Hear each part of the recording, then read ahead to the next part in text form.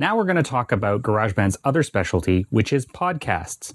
Podcasts are like online radio shows, or there are video versions as well, that people can subscribe to using iTunes or other software, listen or watch them on computers, on iPods, on other media players, on Xboxes, on the Apple TV. It's a great way to get media content, stuff that you've created to other people out there in the world without needing a broadcasting license or a radio studio or anything like that.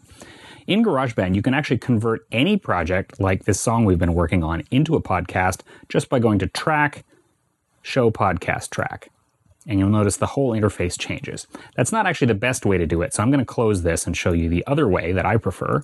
And that is at the startup screen here, just click Create New Podcast Episode.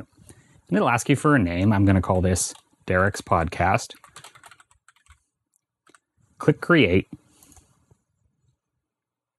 and you get the same new interface with a few extra things up here. And the extra things are what we're going to talk about next.